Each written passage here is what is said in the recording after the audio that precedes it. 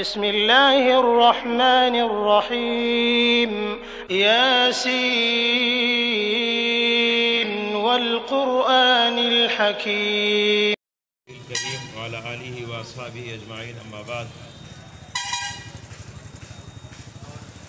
اس دینی اور دعویٰ پروگرام میں میں آپ تمام بھائیوں کا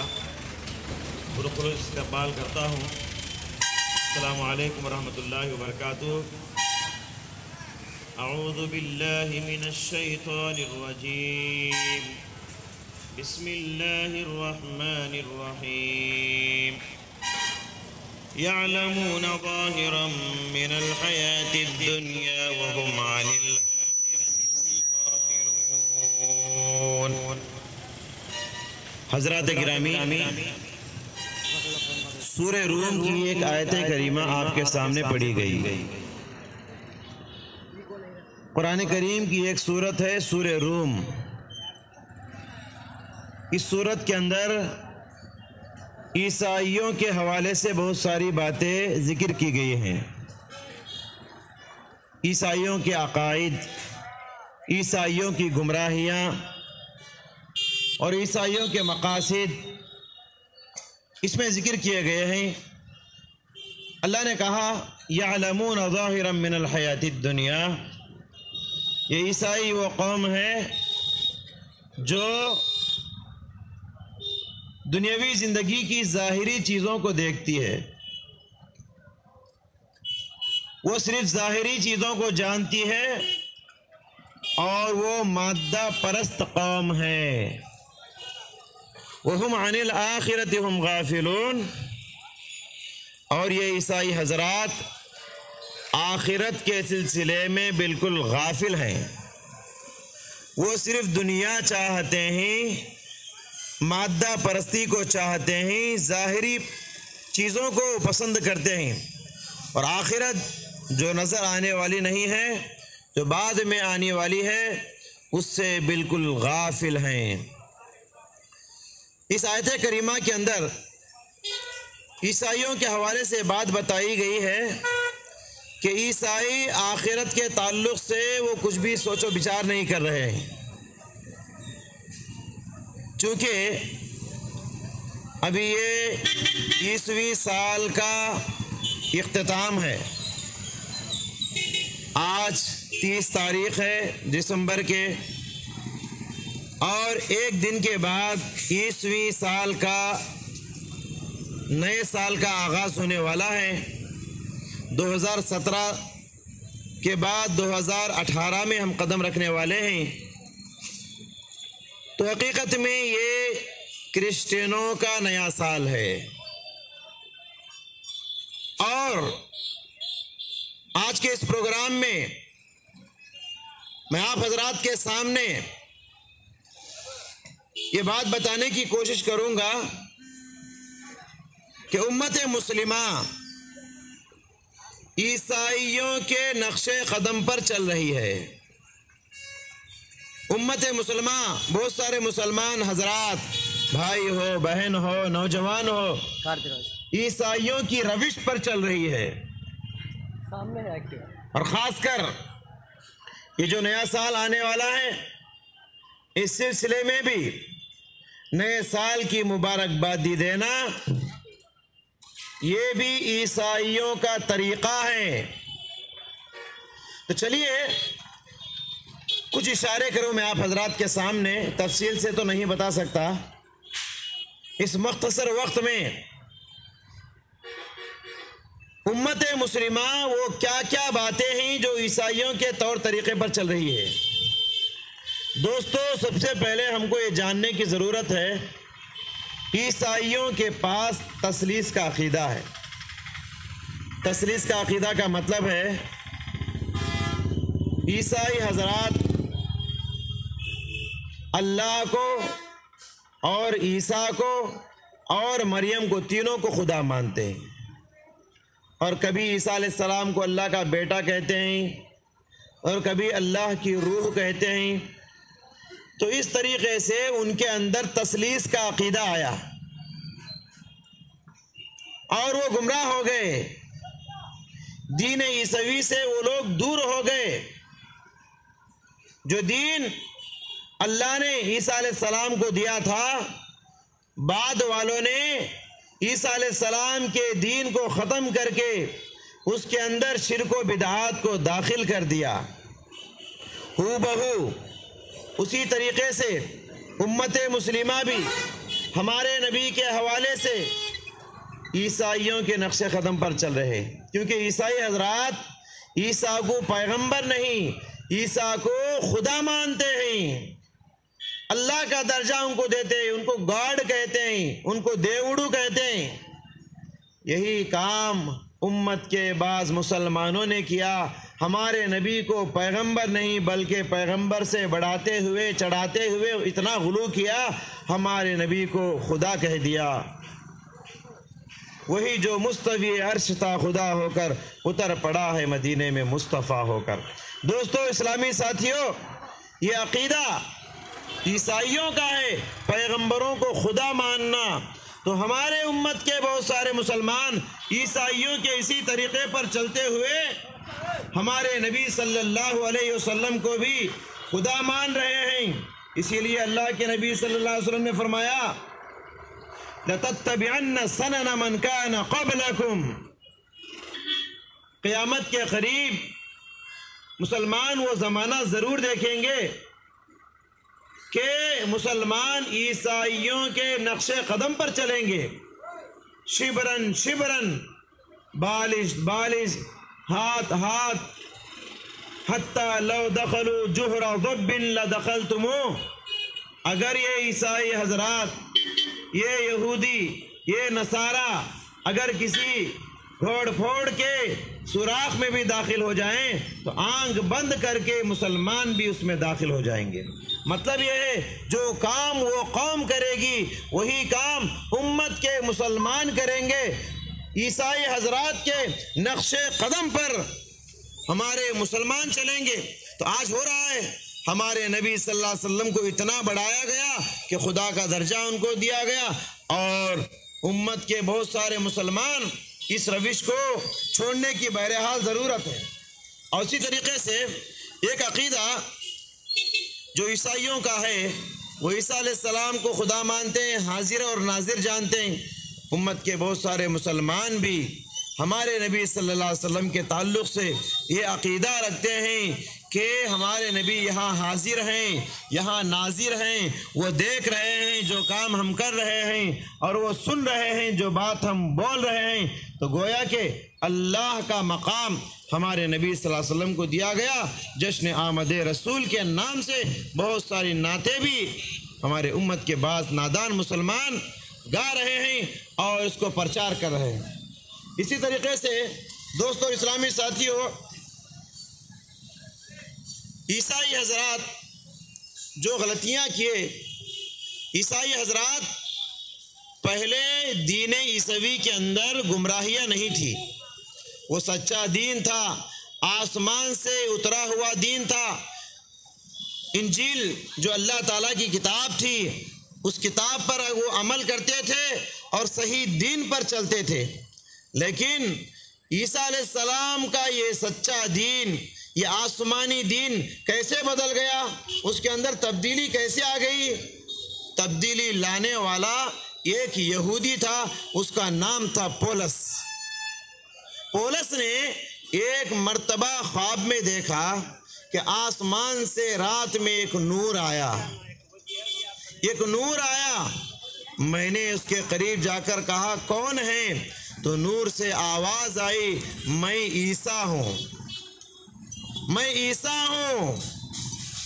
اور پھر حضرت عیسیٰ علیہ السلام اس پولس سے کہنے لگے، وہ یہودی تھا اور عیسائیوں کو بہت ستاتا تھا، کیونکہ یہودی اور نصارہ کو آپس میں نہیں بنتا۔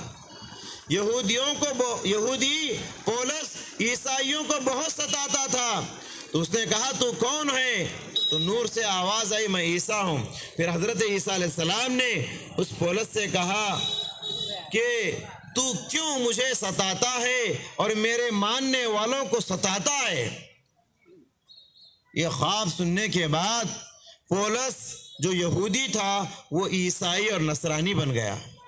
اور نصرانی بننے کے بعد یہ وہ پہلا شخص تھا جو دین عیسوی کے اندر تبدیلیاں پیدا کیا۔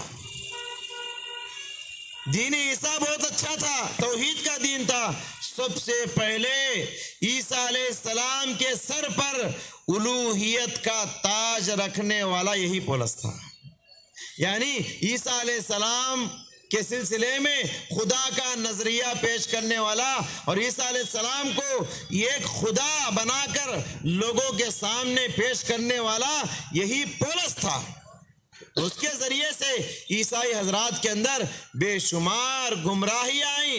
دنیا کے اندر قسم قسم کے خرافات آئے اور قسم قسم کے نقصانات آئے۔ اور یہی کام امت کے اندر دور خلفۂ راشدین حضرت عمر، حضرت عثمان، حضرت علی رضی اللہ تعالیٰ کے زمانے میں ایک یہودی تھا، اس کا نام تھا عبداللہ بن صبا وہ آل بیت کے آل بیت کا سہارا لے کر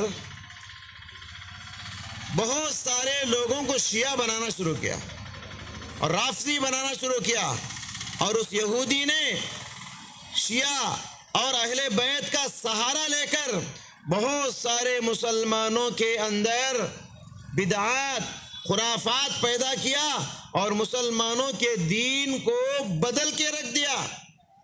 مسلمانوں کے دین کو بدل کے رکھ دیا۔ پھر کیا ہوا؟ مسلمان صحیح دین سے ہٹتے گئے اور یہ رافضی حقیقت میں یہودیت کی ایک شاخ ہے۔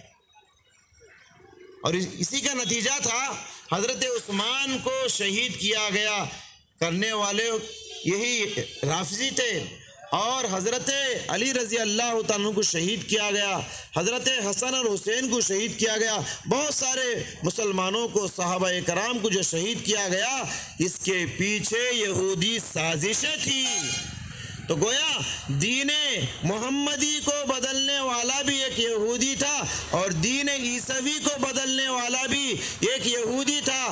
تو بتانے کا مقصد یہ ہے، آج امت مسلمہ عیسائیوں کے نقش قدم پر چلتے ہوئے جیسے عیسیٰ علیہ السلام کے دین کو بدل دیا گیا، ویسے ہی محمد صلی اللہ علیہ وسلم کے لائے ہوئے شریعت کو بھی بدل دیا گیا اور اس کو ملیا میٹ کر دیا گیا۔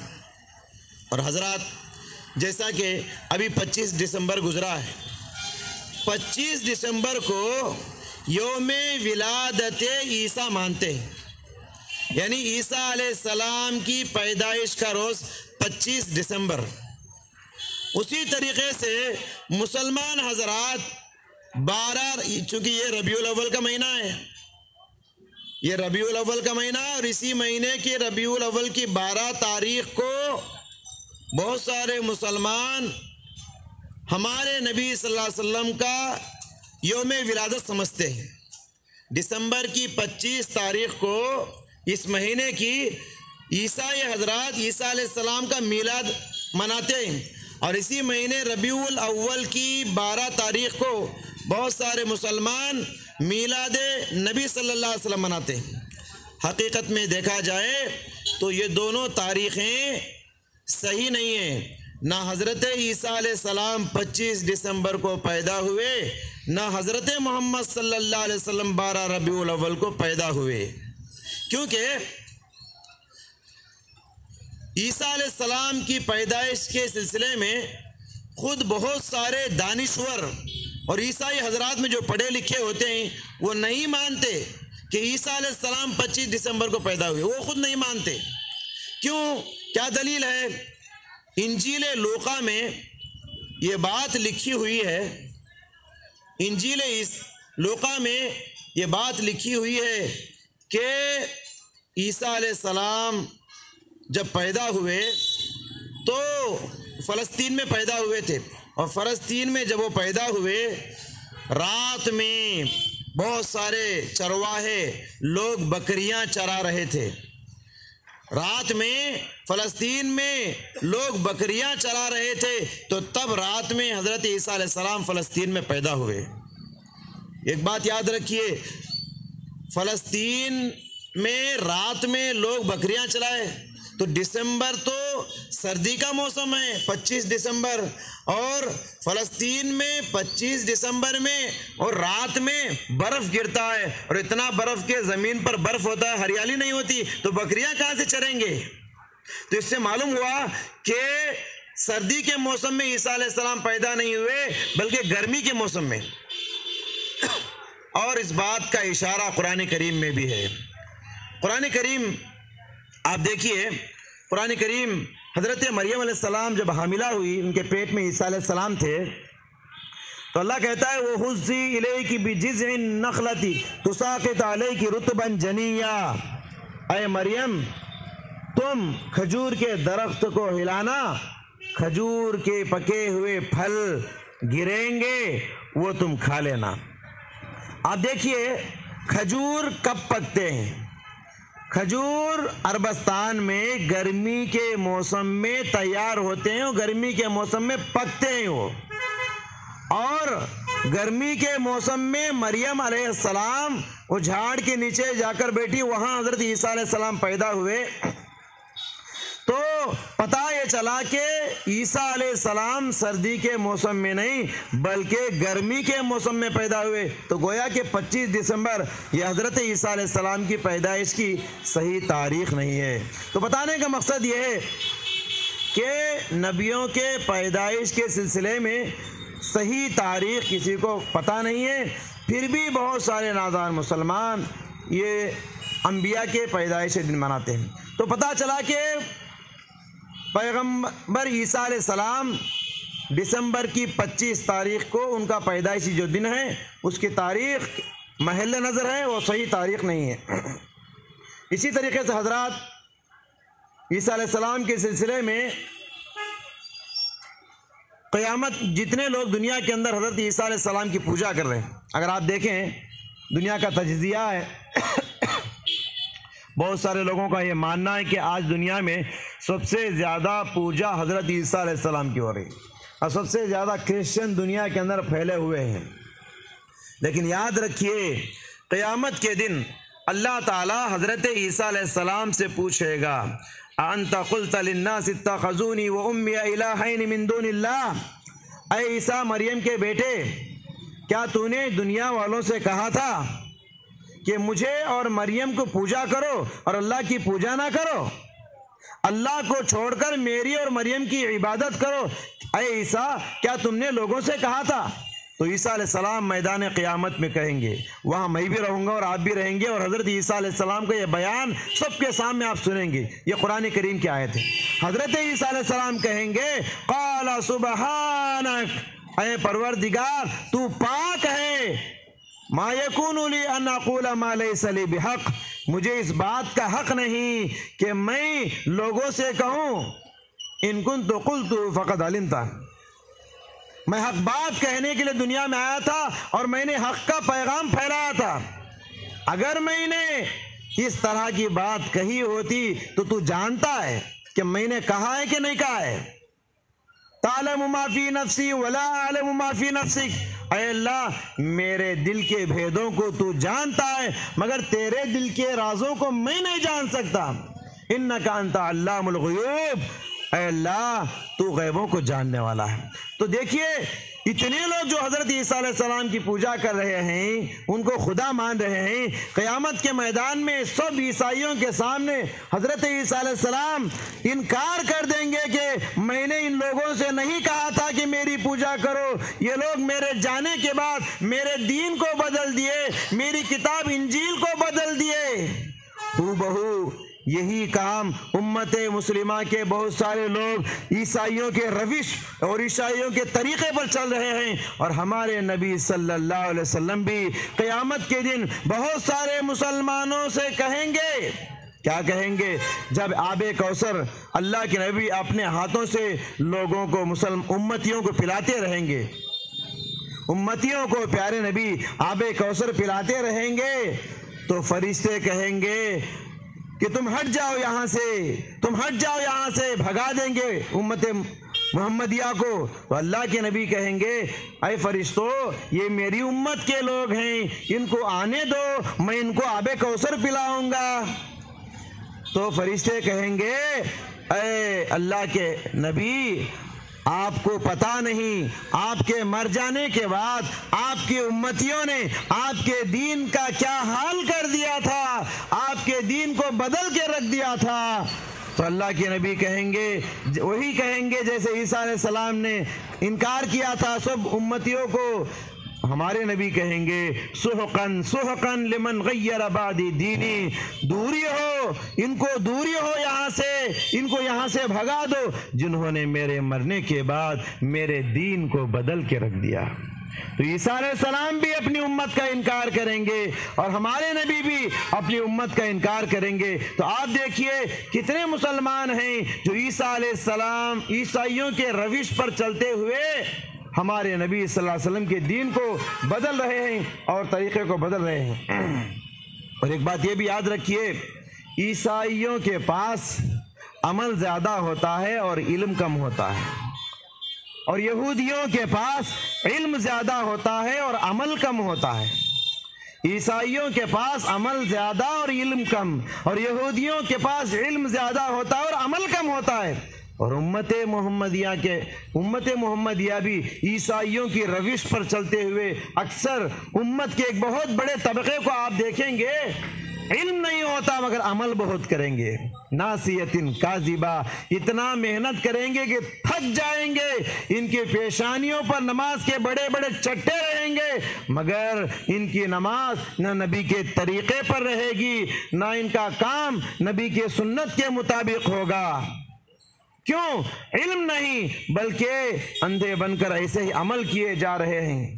دوستو، اس لیے جو بھی ہم کام کرتے ہیں، معلومات حاصل کرنا ہے اور صحیح حدیث کو معلوم کرنے کے بعد ہی ہم کو عمل کرنے کی کوشش کرنا چاہیے۔ اللہ کے نبی صلی اللہ علیہ وسلم نے ارشاد فرمایا، انما حلقت بنو اسرائیل حیثما قصو، انما حلقت بنو اسرائیل حیثما قصو۔ بنی اسرائیل اسی لیے ہلاک و برباد ہو گئے کیونکہ وہ لوگوں کو صرف قصے بیان کرتے تھے۔ لوگوں کو اللہ کی باتیں نہیں بتاتے تھے، اللہ کے رسول کی تعلیمات نہیں بتاتے تھے، بلکہ آپسی لوگوں کے قصے بیان کرتے تھے۔ قصے بیان کرتے کرتے اللہ سے دور ہوئے، اللہ کی کتاب سے دور ہوئے اور قصے کہانیوں میں گم ہو گئے۔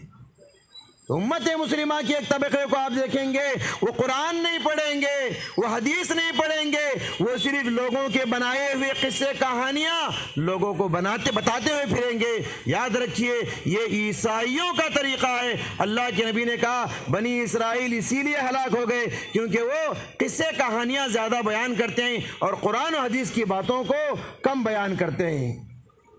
اور دوستو، یاد رکھیے اللہ کی کتاب کو چھوڑنا، اللہ کی آسمانی کتاب کو چھوڑ کر علماء کی کتاب پر عمل کرنا، یہ قیامت کی نشانیوں میں سے ایک نشانی ہے۔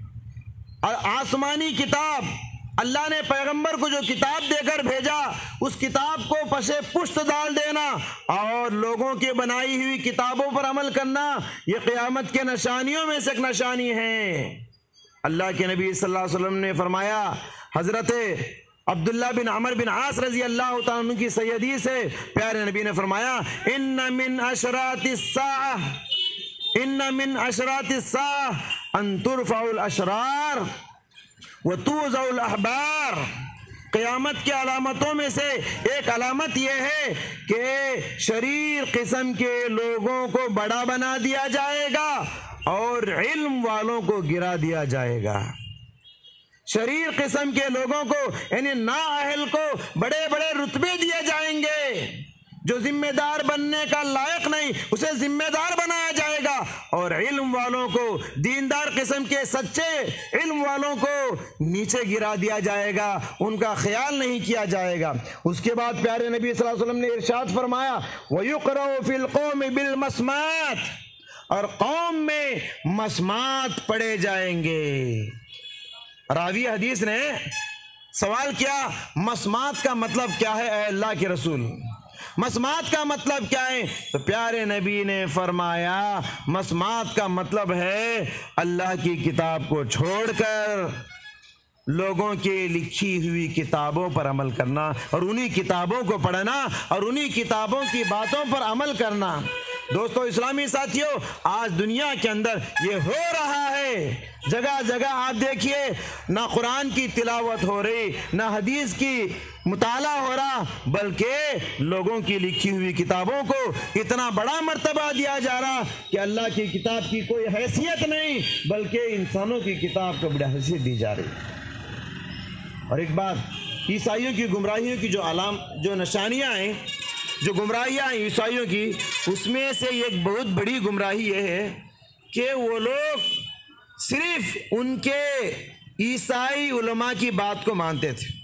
نہ اللہ کی بات کا لحاظ کرتے، نہ اللہ کے رسول کی بات کا لحاظ کرتے، بلکہ وہ عیسائی اخبار جو ہوتے ہیں، روحبان جو ہوتے ہیں، انہی کی باتوں کو مانتے تھے۔ اللہ تعالیٰ نے اس بات کی طرف اشارہ کرتے ہوئے قرآن کریم میں فرمایا، یا ایوہ الناس، یا ایوہ الذین آمنوا انا کثیرا من الاحبار والرہبان لیاکلون اموال الناس بالباطل۔ آپ دیکھیں گے، عیسائی جو علماء ہوتے ہیں، وہ لوگوں کو گمراہ کر دیے۔ عیسائی علماء نے لوگوں کو گمراہ کر دیے اور یہ لوگ ان کو خدا بنا لیے۔ عیسائی حضرات اپنے علماء کو خدا بنا لیے اور وہ علماء ان کو گمراہ کر دیے۔ اللہ نے کہا، یا ایوہ الذین آمنوا، ان کثیرم من الاحبار والرحبان لیاکلون اموال الناس بالباطل۔ اے ایمان والو، بہت سارے رہبان اور احبار جو ان کے علماء ہیں، انہوں نے باطل طریقے سے عیسائیوں کا مال کھا لیا۔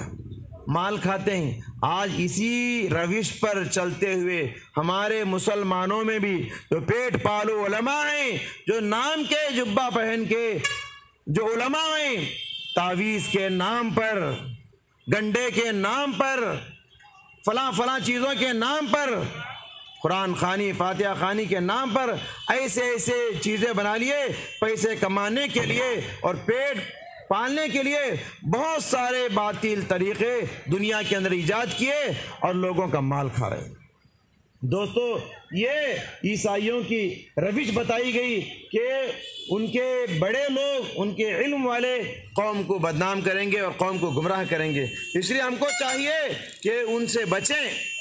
اور یاد رکھیے دوستو، اسلامی ساتھیوں، ہماری امت محمدیہ وہ امت ہے جو کسی کو نمونہ بناتی نہیں، بلکہ یہ امت خود دوسروں کے لیے نمونہ ہے۔ یہ امت مسلمہ دینے والی قوم ہے، لینے والی قوم نہیں۔ ہم دنیا میں آئے ہیں دوسروں کو دینے کے لیے، دوسروں کا کلچر لینے کے لیے نہیں۔ دوسروں کا سنگولرٹی اختیار کرنے کے لیے ہم نہیں آئے۔ اپنی سنگولرٹی اپنا طور طریقہ، اپنے اخلاق، اپنے عادات، اپنے عبادات، اپنے عادات، اپنے معاملات، اپنے عقائد ہم کو دوسروں کے اندر داخل کرنا ہے۔ نہ کہ دوسروں کے عقائد قبول کرے۔ بڑا افسوس ہوتا ہے۔ صحابہ اکرام میں دیکھیے، حضرت سلمان فارسی رضی اللہ تعالیٰ عنہ۔ حضرت سلمان فارسی رضی اللہ تعالیٰ عنہ سے یہودیوں نے مذاق کرتے ہوئے کہا، دیکھیے، ہمارا دین کسی، ہمارے دین کسی کا محتاج نہیں۔ ہمارے ہمارے دین میں اللہ تعالیٰ نے اور اللہ کے نبی نے زندگی گزارنے کے ہر معاملے میں رہنمائی فرمائی۔ ہے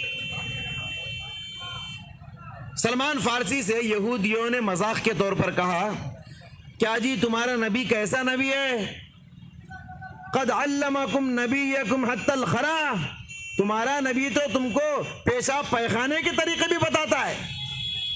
تو سلمان فارسی شرمندہ نہیں ہوئے، بلکہ فخر سے انہوں نے کہا، ارے تم کو تو اتنا ہی معلوم کیا، ہمارے نبی ہم کو یہ بھی بتاتے ہیں کہ کدھر منہ کر کے بیٹھنا ہے، کدھر پیٹ کر کے بیٹھنا ہے۔ استنجا پانی کتنا لینا ہے، ڈھیلے کتنا لینا ہے، اور کون سے ہاتھ سے صفائی کرنا ہے؟ ہمارے نبی ہر چیز بتائے۔ ہمارا دین وہ دین ہے جو ہر معاملے میں ہم مسلمانوں کی رہنمائی کیا ہے۔ اللہ نے قرآن میں فرمایا کن تم خیر امت اخرجت للناس۔ تم بہترین امت ہو جو لوگوں کے لیے نکالی گئی ہو۔ ہم لوگ دنیا کے اندر آئے ہیں دوسروں کو بتانے کے لیے، دوسروں کو سمجھانے کے لیے، نہ کہ دوسروں کے طریقے قبول کرنے کے لیے۔ آج کیا ہو رہا دنیا کے اندر؟ مسلمان حضرات دوسروں کے طریقے قبول کر رہے ہیں۔